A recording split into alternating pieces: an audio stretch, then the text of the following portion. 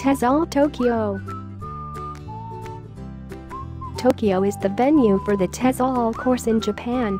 An incredible city on the edge of the Orient, Tokyo is the last great metropolis before the Pacific Ocean and is perhaps one of the world's most fascinating cities. Take a step back from the big city bustle and the frenetic main roads and you'll find yourself in a world of tranquil back streets, where wooden houses are fronted by neatly clipped bonsai trees. Wander beyond the high-tech department stores and you'll find ancient temples and shrines.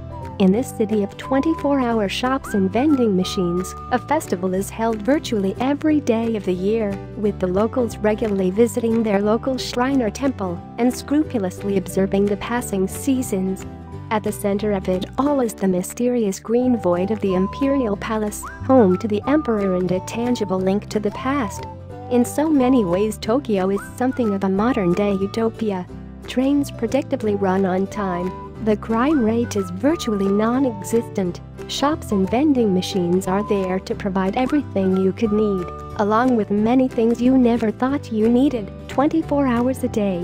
The people simply have to wear the coolest fashions, eat in fabulous restaurants and party in the hippest clubs.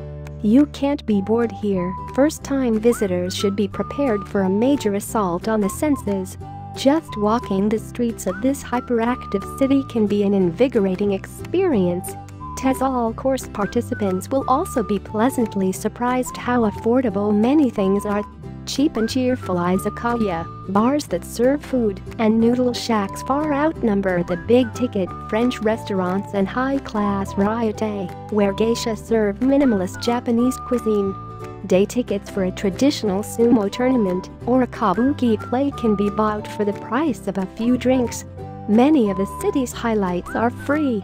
You can stroll through the evocative Shitamachi, Low City area around Asakusa and the major Buddhist temple Sensoji.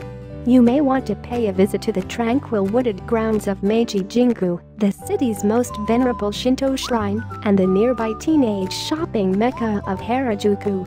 There's always the frenetic fish market at Tsukiji to experience, or you could soak up the neon-saturated atmosphere of the mini-city of Shinjuku. Either before or after your TESOL course in Tokyo, you may want to explore other parts of Japan. Tokyo is the major transport hub for Japan.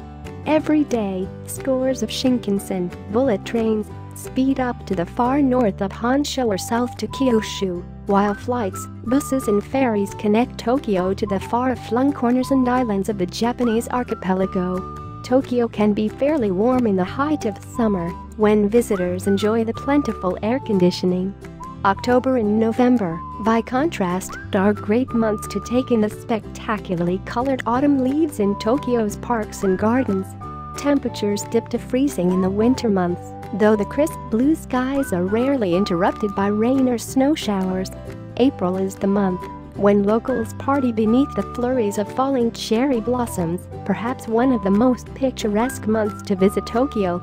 Carrying an umbrella is a good idea during the rainy season in June and September, when typhoons occasionally strike the coast. Legend has it that a giant catfish sleeps beneath Tokyo Bay, and its movements can be felt in the hundreds of small harmless tremors that rumble the capital each year. There is a long-running, half-hearted debate about moving the main government offices out of Tokyo, away from danger. Yet, despite the fact that the city is well overdue for the big one talk of relocating the capital always comes to nothing. Now, more than even before, Tokyo is the center of Japan, and nobody wants to leave and miss any of the action. Tokyo is the place to be the ideal location for your TESOL course.